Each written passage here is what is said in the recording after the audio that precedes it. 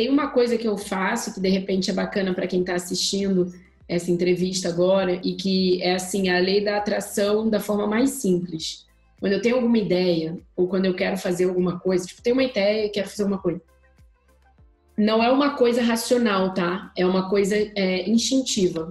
Os primeiros milésimos de segundos, o sentimento que aquela ideia me traz, se for bom, eu caio matando. Agora, se for ruim, eu esqueço, não é o momento de fazer e tudo mais. E eu acho que isso tem sido uma técnica que eu tenho usado constantemente na minha vida. Tem vários projetos, às vezes, que eu falo, cara, eu podia fazer isso, assim, assado. E o sentimento que me vem não é bacana. E se eu ainda tento passar por cima do sentimento e realizar, pode ter certeza que em algum momento vai dar zica, vai dar errado e tudo mais, porque realmente não era aquele momento para acontecer. Agora, quando eu penso, quando eu tenho alguma ideia de um projeto e vem um sentimento assim, tipo, caraca, vai e faz tudo que é possível para você realizar, porque a chance daquilo dar certo é enorme. E isso, se você for ler lá os livros do, do Segredo, os Paranauê todo aí que tem na internet para falar de, de lei da atração, basicamente a lei da atração é isso aí. Você tem que sentir milésimos de segundo o que, que aquele pensamento te traz. Se for bom, cai matando. Se for ruim, deixa pra lá. Entendeu? Excelente. A lei da atração aí.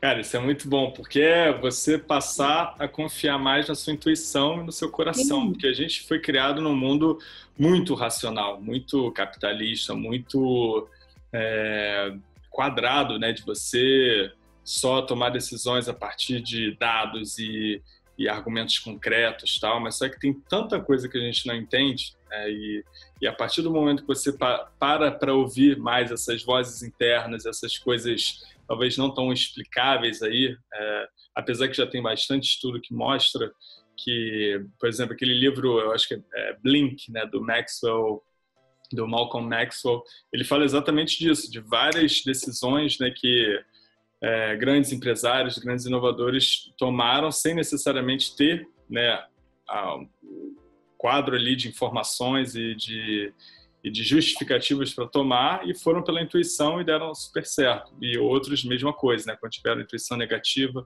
acabaram indo mesmo assim, quebraram a cara. Então, já tem muito estudo aí, legal. E Mas o mais maneiro é você simplesmente experimentar. Cara, eu também, hoje em dia, a maior parte das decisões que eu tomo na minha vida são baseadas na minha intuição.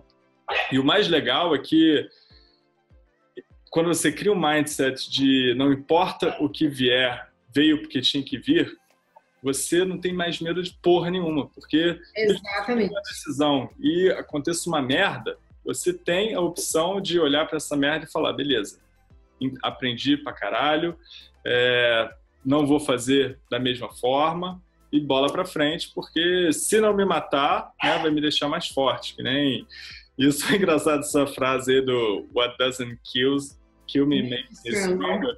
Eu sempre achava eu que era da música. Eu ouço direto. Eu sempre achei, caralho, essa música é incrível, tá, isso aqui, tá. Mas na verdade, essa é uma frase de Nietzsche, tá ligado? Sério? Caralho, quando eu, li, quando eu li, eu falei, porra, mané, agora, agora eu acho que dá para até citar melhor. Mas, enfim, é isso, né? E quando você começa a lidar dessa, dessa maneira com com a tomada de decisão, mesmo que você erre e você vai errar, tá tudo bem, né? Que é só é, consertar, é só aprender, é só seguir em frente. Com certeza. Bom.